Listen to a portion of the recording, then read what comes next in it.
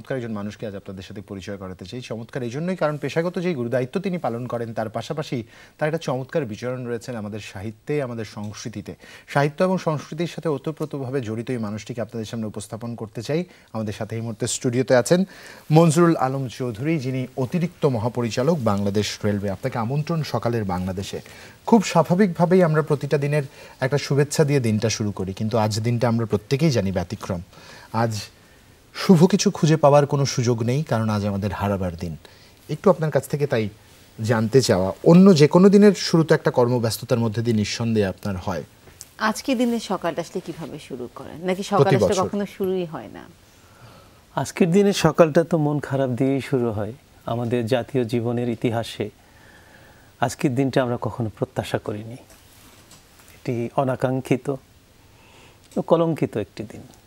আমাদের বাঙালি জাতির জীবনে যেখানে ছাব্বিশে মার্চ আছে ষোলোই ডিসেম্বর আছে যেগুলো নিয়ে আমরা গর্ব করতে পারি আমরা দেশকে ছিনিয়ে নিয়ে এসেছি বিজয় এনেছি।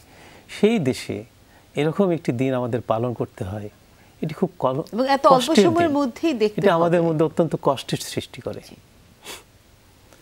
খুব স্বাভাবিকভাবে সেই তর্জনের গর্জনকে এভাবে থেমে যেতে হবে এটা আমরা কেউ হয়তো কোনোভাবেই প্রত্যাশা করিনি। যাই হোক বাস্তবতার হচ্ছে একটা সংকটে পতিত হয়েছিল বাংলাদেশ। যে সংকট থেকে আসলে কি করে ঘুরে দাঁড়াবো আমরা এই পথটা আমাদের জানা ছিল না। পঁচাত্তর পরবর্তী সময়ের কথা বলছি। জি সে কারণেই কিন্তু আমি যেটা বলতে চাচ্ছিলাম যে পনেরোই আগস্ট আমাদের পালন করতে হবে। এটির ভিতরে আমাদেরকে ঢুকতে হবে। শোককে শক্তিতে পরিণত করতে হবে। নতুন প্রজন্মকে সেভাবে গড়ে তুলতে হবে। বঙ্গবন্ধু বাংলাদেশ বীরাঙ্গনা মুক্তিযুদ্ধ মুক্তিযোদ্ধা, এই চেতনাগুলো আমাদের প্রজন্মের মধ্যে আনতে হবে। তাহলে তারা বুঝতে পারবে এই দেশে মুক্তিযোদ্ধাও ছিল, আবার বিশ্বাসঘাতক কাপুরুষও ছিল। এবং এই মুক্তিযোদ্ধাদের প্রতি তো আমাদের একটা দায়বদ্ধতা আছে। যে আমাদের কর্মে, আমাদের সৃষ্টিতে যে সেটা যেন একটা প্রতিফলন হয়।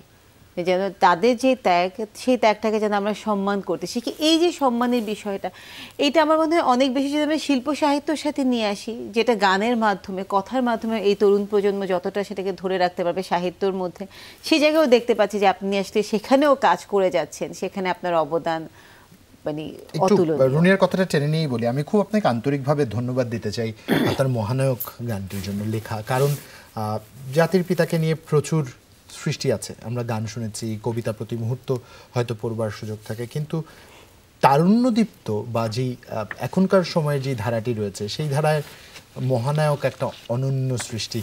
কি করে মাথায় আসলো আপনি এমন একটি গান লিখবেন? এই টোনে একটি গান লিখবেন। পুরো মানে মেলো রক ধাঁচের একটি গান হ্যাঁ, যেটা মেলো তরুণ রকে- মেলো রকের একদম মেলো রকে বঙ্গবন্ধুকে পোট্রে করাটা একটা দুঃসাহসিক ব্যাপার। জি। হ্যাঁ। আমি প্রথমে বলি যে আমি তো আসলে একজন যন্ত্র প্রকৌশলী। এবং লোহা লক্ষণ নিয়ে আমার কাজ। তো আমি বেসিক্যালি নিজেকে কখনো কবি মনে করি না আমি একজন অকবি। তারপরে আমার মধ্যে যে কবিত্ব আসে এই চেতনাটা কিন্তু মুক্তিযুদ্ধের চেতনা। বঙ্গবন্ধুকে এত বেশি ভালোবাসি যে আমার মতো অকবির মাঝেও কিছু কবিত্ব আসে। তো আমি যখন মুজিব শতবর্ষ আসলো। সারা দেশে বঙ্গবন্ধুকে নিয়ে বিভিন্ন কর্মকাণ্ড শুরু হলো বাংলাদেশ রেলওয়ে এবং রেলপথ মন্ত্রণালয়ের তরফ থেকে। মুজিব শতবর্ষে সবগুলো কাজে আমি মুখ্য ভূমিকায় ছিলাম এবং এই কাজগুলো করতে এগুলি সরকারি কাজের অংশ ছিল। আমার ভিতরে একটা গভীর চেতনা ছিল।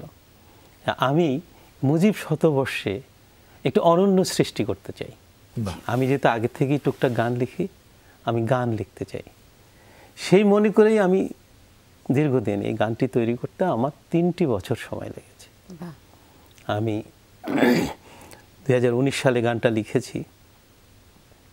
বহুবার এই গান আমি লিখেছি কেটেছি ছেড়েছি ফেলে দিয়েছি। কারণ বঙ্গবন্ধুকে এত বড় একটি বিশাল ক্যানভাসকে অল্প শব্দের মধ্যে গানের মাত্র দশ বারোটি লাইনের মধ্যে নিয়ে আসা নেক্সট টু ইম্পসিবল। এই কাজটি একদিন আমি করতে পেরেছি। সেটি হলো আমি ইতিহাসটা একটু। লিখলাম। আমি সাধারণত আমি রেলওয়েতে জব করি এবং যেদিন আমি ট্রেনে ভ্রমণ করি সেদিন আমার বেশি গান লেখা হয়ে যায়। আমি সোনার বাংলা ট্রেনে একদিন চিটং থেকে ঢাকা আসতেছিলাম সেদিন আমার মধ্যে একটা জেদ চেপে গেছে ফিলিংসও আসছিল। আমি সারা দিন ধরে এই গানটি যতক্ষণ ধরে ট্রেনটা আসছিল পাঁচ ঘণ্টা পরে যখন সোনার বাংলা ট্রেন ঢাকায় ঢুকছিল তখন যে অবয়বটা তৈরি হয় তাতে সেটি আমার মধ্যে একটা সন্তুষ্টি দেয় যে হ্যাঁ আমি যা বলতে চাচ্ছি বঙ্গবন্ধু সম্পর্কে মনে হয় এই গানে আসছে। জি। এভাবে দুই হাজার উনিশ সালটা আমি পার করি সুর কাকে দিয়ে করাবো? আমি তো আসলে গানের মানুষ না আমি ভালো করে সুরকার দিয়েও চিনি না। কিন্তু গানটিকে অলরেডি আমার লিরিক্সগুলোকে এত বেশি ভালোবাসতে শুরু করেছি যে আমি এই গান যেন নষ্ট না হয়। বাহ। তো তখন মানে সঠিক সুরটা আসলে খুবই দরকার। জি জি। সেই জন্যে আমি অনেকের সাথে যোগাযোগ করে শেষ পর্যন্ত রাজেশ ঘোষ তিনি জাতীয় চলচ্চিত্র পুরস্কার প্রাপ্ত একজন সুরকার। তার খোঁজ পাই তার সাথে কথা বলি দীর্ঘক্ষণ গানটি নিয়ে আলোচনা করি এবং তিনি আমার ফিলিংসটা অনুভব করেন। তিনি বললেন ঠিক আছে আপনার লিরিক্সটা আমি নিয়ে যাই। আমি সময় নিয়ে আপনাকে শুরু করব। দুই হাজার বিশ সাল লেগেছে আমি তাকে বলেছি বঙ্গবন্ধু সকল প্রজন্মের জন্য বৃদ্ধ থেকে নতুন প্রজন্ম যে অনাগত প্রজন্মের জন্যেও আমার গানটি কি সেরকম সুর করে দিতে পারবেন? কারণ আপনি তো বঙ্গবন্ধুকে কোনো একটা কাল বা কোনো একটা সময় তো আপনি ধারণ করতে পারেন না। না সময় করা যায় না। তো সেই সুর উনি দু হাজার বিশ সাল বেশ সময় নিয়ে করেছেন। অনেক সমস্যা ছিল তখন কোভিড ছিল। কোভিডের মধ্যে ট্র্যাক করা কঠিন ছিল। এভাবে দু হাজার বিশ সালের পরে কাকে দিয়ে গাওয়াবো? এমন একটি কণ্ঠে এই গান তুলতে হবে যে কণ্ঠ মানুষের হৃদয় ছুঁয়ে যাবে। সেটিও আমি গানের মানুষ না হয়ে এই সুরকার গীত শিল্পী এদেরকে আমি খুঁজে খুঁজে বের করেছি। ওয়ারফেজের মিজান। প্রাক্তন ভোকালিস্ট মিজান ভাই মিজানুর মিজান রহমান। তার সাথে আমি কথা বলি উনি গানগুলো গানটা শোনেন। উনিও খুব আবেগ আপ্লুত হয়ে যান। উনিও সময় নিয়ে বলেন যে we will make the song দুই হাজার একুশ সালে উনি কণ্ঠ দেন। তো উনিশে আসলে ধারণ করা হলো শব্দগুলো তারপর সেটাতে সুর এবং তারপর একুশে গিয়ে আসলে আমরা গানটা পেলাম। দর্শক খুব প্রত্যাশা ছিল খুব ইচ্ছে ছিল আপনাদের আজকের এই দিনটিতে অন্তত গানটি শোনাবো। কিন্তু কারিগরি কিছু সীমাবদ্ধতার জন্য আমরা হয়তোবা পারলাম না। তবে নিশ্চয়ই আপনারা নিজ দায়িত্বে খুঁজে নেবেন মহানায়ক এই গানটি। ইউটিউবে সার্চ করে নিলে আপনার পেয়ে যাবেন। দর্শকদেরও মনে করিয়ে দিতেছে, আজকের এই দিনটাকে কেন্দ্র করে জাতির পিতা বঙ্গবন্ধু শেখ মুজিবুর রহমানের কন্যা, আমাদের মাননীয় প্রধানমন্ত্রী শেখ হাসিনা, তার পরিবারের যে স্বজন হারিয়েছেন, তাদের শ্রদ্ধা জানাতে বনানীতে তাদের সমাধিস্থলে পুষ্পস্তবক অর্পণ অর্পণ করতে কিছুক্ষণের মধ্যেই যাবেন। সে জায়গায় আপনাদের নিয়ে যাওয়ার চেষ্টা করব। তাই আলাপচারিতায় হয়তো একটা অনাকাঙ্ক্ষিত ছেদ আমাদের টানতে হতে পারে। তবে যে প্রসঙ্গে আমরা কথা বলছিলাম, সেই প্রসঙ্গ ঘিরেই আসি। সাহিত্য সংস্কৃতির সাথে খুব গেথে থাকা একজন মানুষ আপনি। লেখালেখি শুরুটা কি করে হলো একটু শুনি আমরা? এটি খুব ইন্টারেস্টিং এটি মানে বললে অনেকে বিশ্বাসই করতে পারে না। আমার পরিবারের সদস্যরা হঠাৎ করে বলা শুরু করল যে তুই আবার কবে লিখতে শুরু করলি? আচ্ছা। আমি ক্যাডেট কলেজে পড়াশোনা করেছি। আমার কলেজের বন্ধুরা বলে তুই আবার কবে লেখা শুরু করলি? ইভেন বুয়েটে আমি পড়াশোনা করেছি। তারাও বলে তোমার মধ্যে তো এই গুণ কখনো এবং লোহা লক্করের মানুষ আপনি যেভাবে আপনি বলছিলেন কিন্তু এরকম অনেক লোহা লক্করের মানুষ আমরা দেখেছি যারা হয়তো বিজ্ঞান চর্চা করেন কিন্তু সাহিত্য চর্চায় তারা মানে হতে পারে। অন্যরকম আমি। যন্ত্রপাতি নিয়ে থাকি যন্ত্রেরও তো একটা সংগীত আছে। যন্ত্রেরও একটা হয়তো সেই সংগীত থেকেই আমি এই গানের জগতে চলে এসেছি লেখালেখির জগতে চলে এসেছি। এবং রেল যখন রেলগাড়ি যখন চলে তার একটা ছন্দ আছে। সেই একটা রিদম আছে। সেই রিদম খুব স্বাভাবিকভাবেই মনে যদি কারও আহ, দোলা থাকে সেই দোলাকে আন্দোলিত করবেই। করে। এবং রেলের সাথে তো আপনার মধ্যে যে সক্ষতা আসলে অনেক আগে থেকে। আমরা যেভাবে জানি যে বিমল মিত্রের হয় না করি দিয়ে কেনে এই বইটা পড়ার পর থেকে আপনার মনে হচ্ছিল যে আপনি রেলে চাকরি শুরু করবেন। এই ধরনের না রেলে জব করার কখনো ইচ্ছা আমার ছিল না বাট করে দিয়ে কিনলামের সেই যে দীপু বা দীপঙ্কর সেন জি। এটি আসলে আমার জীবনে একটি আদর্শ চরিত্র। বাহ। মানে খুব ভালো মানুষ বড় মানুষ হতে গেলে খুব সাধারণ মানুষ হতে হয়। এটি কিন্তু দীপুর চরিত্রটা, পুরো বইটা জুড়ে বলা আছে। সে তার সামনে শুধু সমস্যাই দেখে, তার সামনে এত মানুষ, সমস্যা, সংকুল, এত মানুষ, তাদের জন্য কাজ না করে সে নিজের কথা ভাববে কখন? এই জিনিসটা কিছুটা হলে, আমি যে ফিলিংসটা ধরে রাখার চেষ্টা করি, এটি হয়তো কিছুটা হলে আমাকে মানুষের জন্য দরদি করে তোলে। এবং সেটার কিন্তু একটা প্রতিফলন এবং প্রতিচ্ছবি আমরা দেখেছি আপনার কাজে যেটা সৈয়দপুরে যখন আপনি স্মৃতিসৌধটা করলেন যে সেখানকার রেলের লোকজনকে ঘিরে। সেই প্রসঙ্গটা একটু জানতে চাইব কারণ খুব স্বাভাবিকভাবে আমাদের স্বাধীনতা সংগ্রামে মহান স্বাধীনতা সংগ্রামে রেলের অসংখ্য কর্মকর্তা কর্মচারী সংযোগ ছিল সেই সরাসরি সম্মুখ যুদ্ধে তারা অনেকে প্রাণ হারিয়েছেন কিন্তু তাদের প্রত্যেকের এই যে স্মৃতি স্মৃতি এবং সেই সাথে যে ইতিহাস এই ইতিহাসটাকে অবিকৃত অবস্থায় রাখবার একটা বিশাল ব্যবস্থা আপনি করেছেন সেই গল্পটা একটু জানাতে চাই দর্শকদের। হ্যাঁ এটি আসলে আমি এই কথাটা বলতে যে আমি একটু দুঃখই পাই কষ্ট পাই যে আসলে মুক্তিযুদ্ধ নিয়ে রেলের একটা অমনিবাস হতে পারত। রেলওয়ে সবসময় কিন্তু যুদ্ধের সাথে সম্পৃক্ত থাকে। জি। যুদ্ধের সময় কিন্তু রেলকে বহ- ব্যবহার করা হয়। বাহন হিসেবে যে সৈন্যবাহিনীর নিয়ন্ত্রণে থাকে তারাই রসদ বহনের জন্য সোলজার নেওয়ার জন্য সবসময়। অস্ত্র শস্ত্র নেওয়ার জন্য। তো বাংলাদেশ রেলেও কিন্তু তাই ঘটেছে। অনেক ঘটনা কিন্তু স্বাধীনতা উত্তর এই জিনিসগুলো সংরক্ষণের কোনো চেষ্টা করা হয়নি। যদি করা হতো তাহলে অনেক কিছু থেকে যেত। আরও সমৃদ্ধ হতো। জি। যাই হোক আমি দুই হাজার দশ থেকে দুই হাজার তেরো সাল পর্যন্ত সৈয়দপুর রেলওয়ে কারখানার ইনচার্জের দায়িত্বে ছিলাম। ওই সময় আমি স্বাভাবিকভাবেই আমি একটু একাত্তরের ঘটনাগুলি জানতে চেয়েছি। আমি একটু শিল্প সাহিত্য নিয়ে কাজ করতাম। আমি দেখলাম যে একাত্তরে উনিশশো একাত্তর সালে সৈয়দপুর রেলওয়ে কারখানায় একটি ম্যাসাকার হয়েছে ব্যাপক হত্যাযোগ্য হয়েছে। সেখানে নন বেঙ্গলিরা ছিল মেজরিটি প্রায় সেভেন্টি পার্সেন্ট আর থার্টি পার্সেন্ট ছিল বাঙালি। কিন্তু স্বাধীনতার যে ঢেউ সেটি তো তাদের মধ্যেও জেগেছে। তারা কারখানার ভিতরে মিছিল করেছে মিটিং করেছে কালো পতাকা তুলেছে বাংলাদেশের ফ্ল্যাগ তুলেছে। এইটি ওই নন বেঙ্গলিদের মধ্যে ব্যাপক ক্ষোভের সৃষ্টি করে এবং তারা দীর্ঘ প্রায় দুই তিন মাস ধরে গোপনে বিভিন্ন ধরনের অস্ত্র তৈরি করছিল। কারখানায় কিন্তু সব তৈরি করা যায়। তলোয়ার বললাম ছুরি এগুলি তারা তো- তৈরি করে করে বিভিন্ন কারখানার রুমের মধ্যে তারা লুকিয়ে রেখেছিল। মানে তারা আসলে সংগঠিত হচ্ছিল। তারা সংগঠিত হচ্ছিল এবং তখন ইতিহাসটা লেখা আছে ওখানে আমার সৈয়দপুর কারখানা তখন পাকিস্তান সেনাবাহিনীর দখলে। তাদের সাথে তাদের লিয়াজও আছে। কারা কারা নেতৃত্ব দিচ্ছে ওখানে ডক্টর জিকরুল হক ডক্টর শামসুল হক এনারা কিন্তু অনেক বড় মাপের নেতা ছিলেন জাতীয় পর্যায়ে তাদের নেতৃত্বে সবাই সংগঠিত হচ্ছিল। একদিন এপ্রিল মাসের কোনো এক সময় কারখানা খোলা ছিল।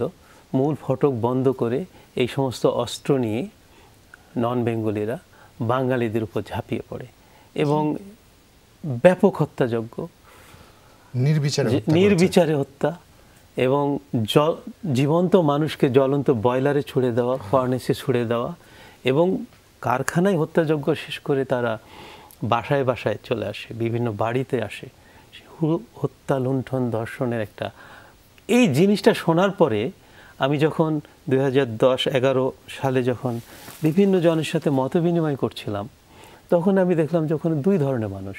এক ধরনের মানুষ এটিকে গল্প বলতে চায় মিথ্যা মিথ বলতে চায় যে এগুলি ঘটেনি। ঠিক না। এড়িয়ে যায়। এড়িয়ে যায়।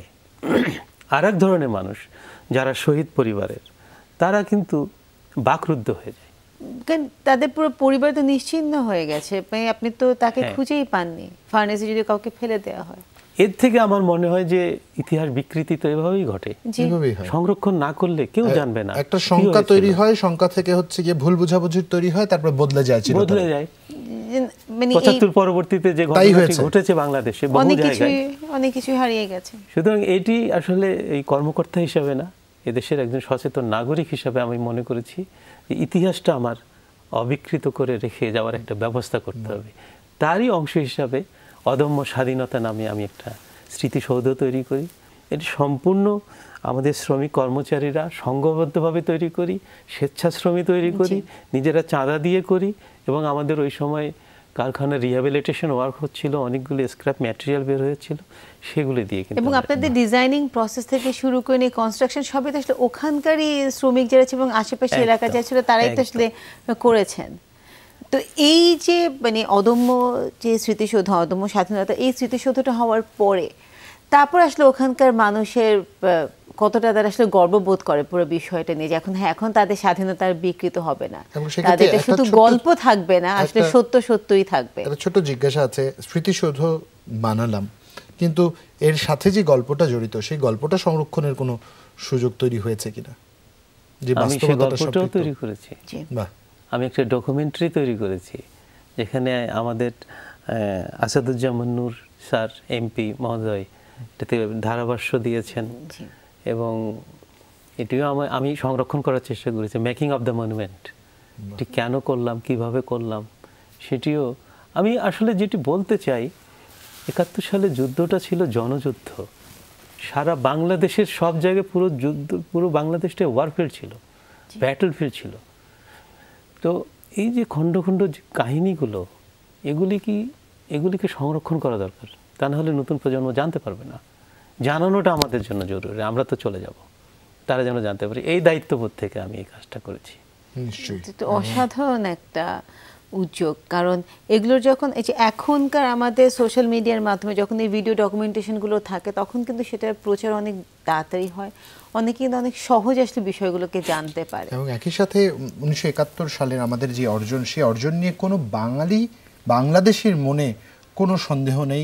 শ্রদ্ধাবোধের বিন্দুমাত্র কমতি কখনো দেখিনি। সেটা সকল দলমত নির্বিশেষে, এটা বাস্তবভাবে বলতেই হয়। এবং এটাকে যখন ডিজিটাল আর্কাইভিং আমরা করতে পারলাম, নিশ্চয়ই এটা অমর হয়ে থেকে গেল। এই জন্য আপনাকে একটা বাড়তি কৃতজ্ঞতা জানাতে চাই, কারণ কেউ ভেবে ভাবেনি। একজন কর্মকর্তা হিসেবে রেলের যেই অবদান রেলের যে ইতিহাস স্বাধীনতার সাথে সম্পৃক্ত তা যে আপনি সংরক্ষণ করেছেন আমরা সমৃদ্ধ হয়েছি। কারণ আমাদের স্বাধীনতার ইতিহাসে এটা একটা অন্যরকম অধ্যায় যে অধ্যায় আনট্যাপড ছিল। দেখার সুযোগ ছিল না আমাদের। এবং আবারও মানে আপনি যেটা মানে বললেন যে আসলে একটা ভালো মানুষ হওয়া একটা সাধারণ মানুষ হওয়া এটা কিন্তু খুব খুব প্রয়োজন। এবং এই যে নাগরিক দায়িত্ববোধটা আমাদের যদি প্রত্যেকে যদি আমাদের নাগরিক যে দায়িত্ববোধ সেটা যদি আমরা পালন করি তাহলেই কিন্তু আমাদের অনেক সমস্যা আসলে সমাধান হয়ে যায়। নিশ্চয়ই নিশ্চয়ই। নিশ্চয়ই। এবার যেই সম্প্রতি যেই সংযোজনটা হলো, আসলে মুজিব শতবর্ষ তো আমরা মহাসমারোহে একটা আয়োজনের চেষ্টা করেছিলাম। কিন্তু সংকটের বিষয় হচ্ছে করোনা পরিস্থিতির কথা আমরা কেউ অস্বীকার করতে পারব না। বিশ্ব অর্থনীতি, বিশ্ব গতিধারা থেমে গেছে। কিন্তু এরই মধ্যে আপনারা রেলের পক্ষ থেকে একটা চমৎকার কাজ করেছেন। আপনারা জাতির পিতার বাংলাদেশে তাকে বয়ে বেড়াবার, রেল যাতে বয়ে বেড়ায়, এমন একটা সংযোজনের চেষ্টা করেছেন, এটা একটু দর্শকদের জানাতে চাই আমরা। এটিও আসলে এই চিন্তাটা আসলে আসলো কীভাবে প্রথমে? এই চিন্তাটা আমি বলি এটি হচ্ছে যে সরকারি পর্যায়ে তো মুজিব শতবর্ষ উদযাপনের নির্দেশনা ছিল। সেই অনুযায়ী এটা মুজিব শতবর্ষ উদযাপনের ব্যাপারটাই কিন্তু অনেকটা ক্রিয়েটিভ ওয়েতে হওয়ার কথা বা সেভাবেই হয়ে আসছিল।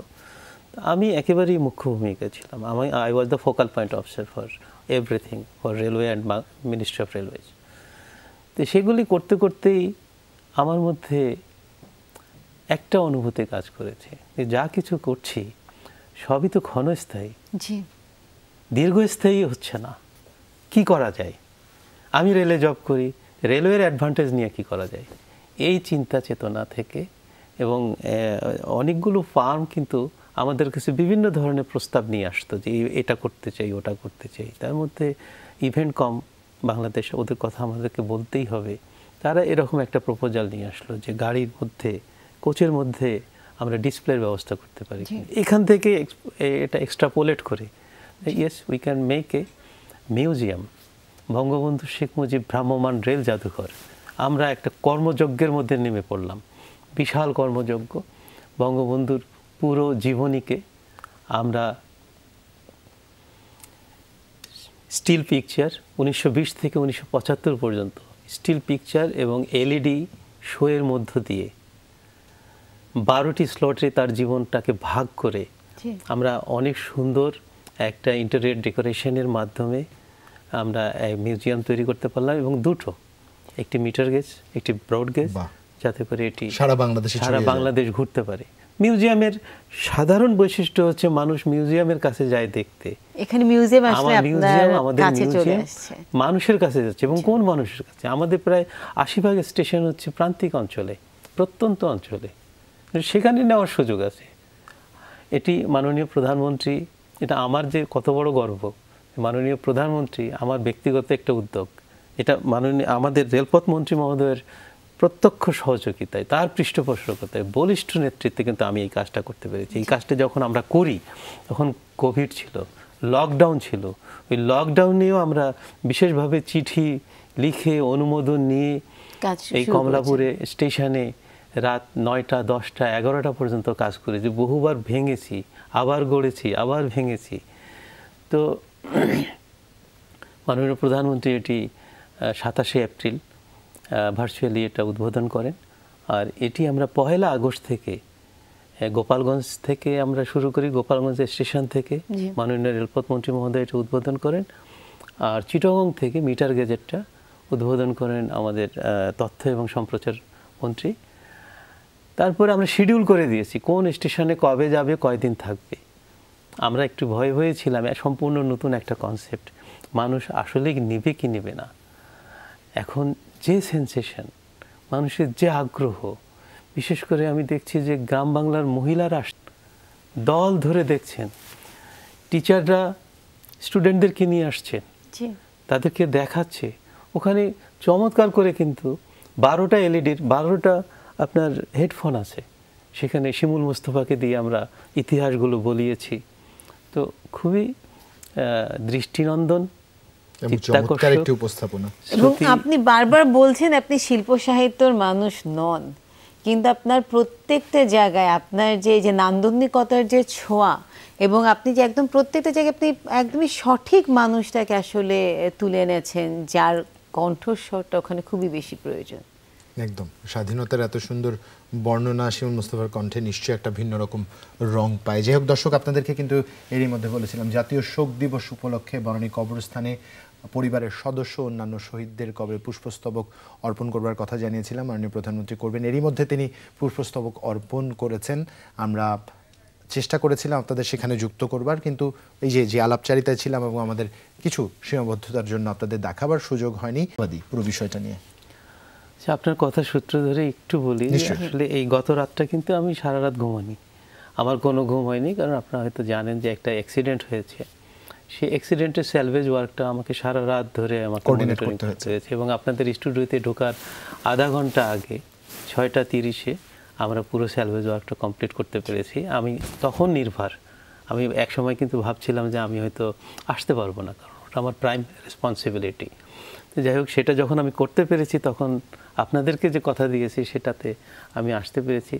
আমি অত্যন্ত আশাবাদী। এখন আর আমি ভয় পাই না।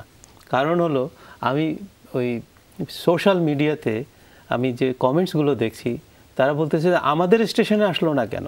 জি। এই যে আগ্রহ আমাদের স্টেশনে কবে আসবে? এই যে তাদের মধ্যে চাহিদা তৈরি হয়েছে তো এটি তো আসলে এই যে স্টেশন টু স্টেশন ঘুরে বেড়ানোর যে কনসেপ্টটা এটি কিন্তু আমি নিয়েছি। আপনি জানেন যে ইন্ডিয়ান রেলওয়েতে ট্যুরিস্ট ট্রেন আছে। প্যালেস অন হুইল এটি কিন্তু রাউন্ড দ্য ইয়ার শিডিউল করা থাকে। এটা তো বেসিক্যালি হলো যে বিভিন্ন ট্যুরিস্ট স্পটগুলিতে নিয়ে যায় দেখায়।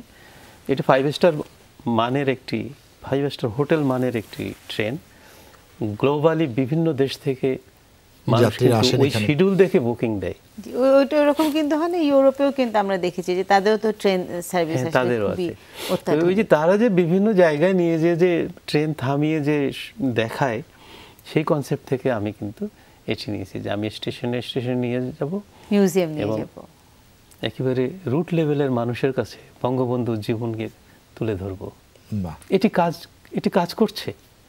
জি এবং এবং তারা না মানে সঠিক তথ্যটা পাচ্ছে ইতিহাসের সঠিক সন্ধানটা তারা পাচ্ছে। যখন তারা অডিওটা শুনছে তখন কিন্তু সেখানে যে এই যে আমাদের জানার যে ঘাটতি সেটা কিন্তু সেখানে একটু জানার রসদ জানতে চাই। এই যে বললেন উনিশশো বিশ থেকে শুরু করে উনিশশো পঁচাত্তর পর্যন্ত বিভিন্ন ভাগে ভাগ করে জাতির পিতাকে আপনারা উপস্থাপন করবার চেষ্টা করেছেন। কি কি অনুষঙ্গ আছে সেখানে? কি কি কন্টেন্ট আছে? অডিও ভিজুয়াল কি কি আছে?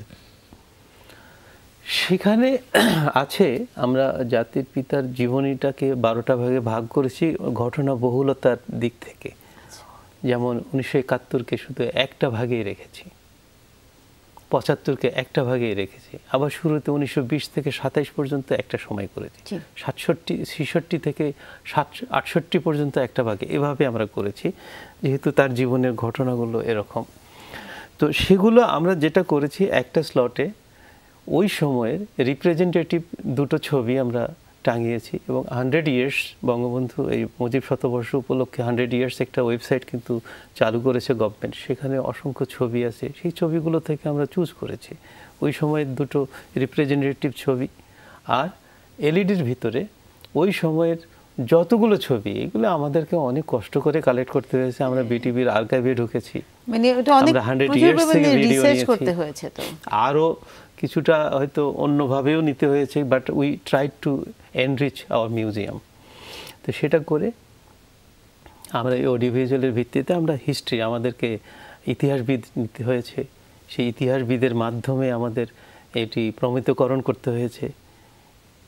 অনেক সময় লেগেছে এবং আমাদের ছবিগুলি মাননীয় প্রধানমন্ত্রীকে আমা- আমরা দেখিয়েছি। এবং উনি এত মেধাবী এবং এত জানেন এত ক্যারিসমেটিক উনি কিন্তু দুটো ছবি আমাদের চেঞ্জ করে দিয়েছেন। যে এই দুটো ছবি দেখো তো কে? সত্যি সত্যি চেঞ্জ করার দরকার ছিল। সেই ছবিগুলো আমরা চেঞ্জ করে আবার ওনার মতো করে ছবি দিই তো ওনারও এখানে অবদান আছে। অবদান আছে জি। অবশ্যই। সরাসরি সম্পৃক্ততা আছে। অবদান বললে ভুল হবে। সরাসরি সম্পৃক্ততা আছে ওনার। যেহেতু উনি ছবি ছবি দিয়ে করে দিয়েছেন। বুঝে যান। ওনার বোঝার ক্ষমতা আমাদের মানে সীমার চেয়ে অনেক বেশি। বঙ্গবন্ধুকে নিয়ে জাতিপিতাকে নিয়ে প্রচুর লেখা আছে। সেই বইগুলোর কি কোনো স্থান হয়েছে?